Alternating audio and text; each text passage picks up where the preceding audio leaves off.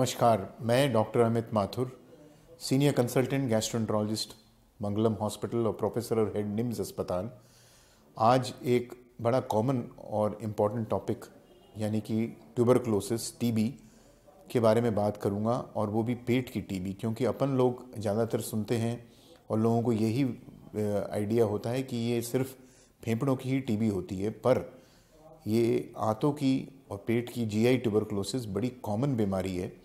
और इसको जितना जल्दी इलाज हो सके, उतना ही आसान होता है ट्रीटमेंट और जितना ही डिले करते हैं अपन डायग्नोसिस और ट्रीटमेंट में, उतनी ही मुश्किलें हमें पैदा हो जाती हैं।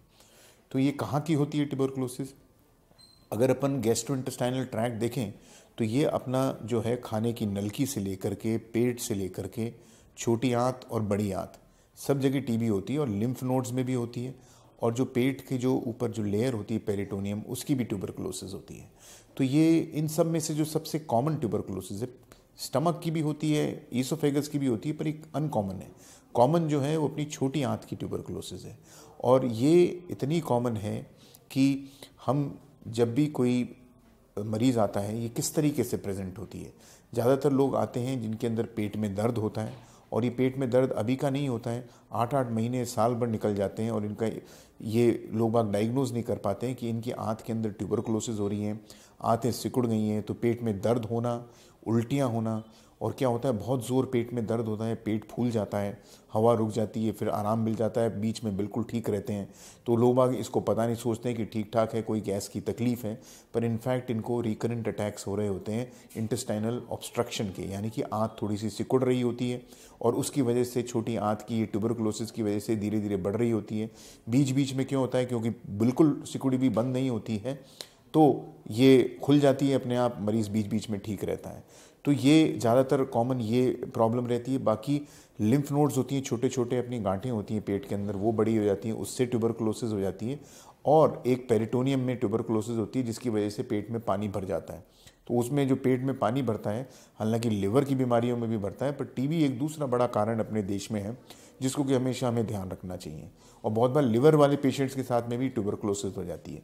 तो छोटी आंत की बड़ी कॉमन है, उसके बाद में बड़ी आंत और फिर पेट, यानी स्टमक के अंदर और ईसोफेगस के अंदर भी होती है।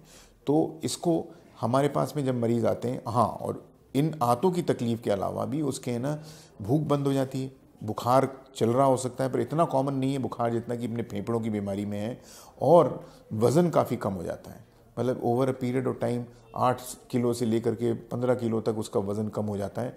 और बस उसके बीच बीच में पेट में दर्द होते हैं, पेट में आफरा आता है, उल्टियाँ होती हैं और बीच बीच में आराम मिल जाता है, पर वो ध्यान नहीं देते लोग बाग और ये पता चलता है कि ये फुली ब्लोन ट्यूबरकुलोसिस है। तो इसको डायग्नोसिस के लिए हमारे पास में बहुत तरीके हैं जिसकी वजह से करते हैं। हालाँकि मुश्किल होता है क्योंकि छोटी आंत की जो कॉमन ट्यूबरकुलोसिस है, वहाँ तक हमारे दूरबीन के एंडोस्कोपी पहुँच नहीं पाती है। तो हम CT scan barium meal follow through और अगर पेट में पानी होता है तो पानी निकाल करके उसकी जाँच करते हैं, जिससे हमें पता चलता है कि ये टीबी है कि नहीं है। और बहुत बार हमारे को एम्पेरिकल ट्रायल ट्यूबरक्लोसिस का देना पड़ता है। तो इसके जब हम एक बार डायग्नोज कर लेते हैं कि हाँ भाई यार ये ट्यूबरक्लोसिस है, इसका वज़न कम हो गया, इसके पेट में दर्द है, जिसमें कि आंतें सिकुड़ गई हैं, क्योंकि सिकुड़ना आंतों के हम मानते हैं कि अगर दस मरीज़ हैं, उसमें से सात या आठ ट्यूबरक्लोसिस ही कारण मिलते हैं। हालाँकि और भी कारण है, कोई स्कीमिक डिज़ीज़ हो जाती है कभी कभी कैंसर्स भी हो जाते हैं, पर कॉमनेस्ट कॉज अपने देश में ट्यूबरक्लोसिस है, जिससे कि आंतें सिकुड़ जाती हैं। तो हम उनको सिंपल दवाइयाँ ट्यूबरक्लोसिस की शुरू करते हैं और हम उसका रिस्पांस देखते हैं। पर बहुत बार ऐसा होता है कि उनका खाना पीना रिस्ट्रिक्ट करने के बाद में, उनकी टीबी की दवाइयाँ शुरू करने के बाद में भी उनको आराम नहीं मिलता। तो ऐसे लोगों को हमारे को उनको ऑपरेट भी कराना पड़ता है क्योंकि ये बिल्कुल आराम नहीं मिलता है। पर ये रिसेक्शंस होते हैं एनास्टोमोसिस होता है, इससे काफ़ी आराम मिल जाता है। तो मैं आज आपको ये बेसिक जानकारी दी है कि ट्यूबरक्लोसिस एक कॉमन पेट की बीमारी है।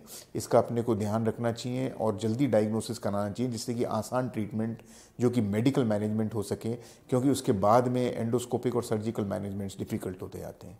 इसके बारे में आपको और कोई जानकारी चाहिए तो मुझे आप संपर्क कर सकते हैं फेसबुक में। और हमेशा ध्यान रखें कि पेट की बीमारियाँ हमेशा साधारण नहीं होती हैं। ये कॉमन प्रॉब्लम जो कि अपने देश में है, ये पेट के अंदर भी हो सकती है। Thank you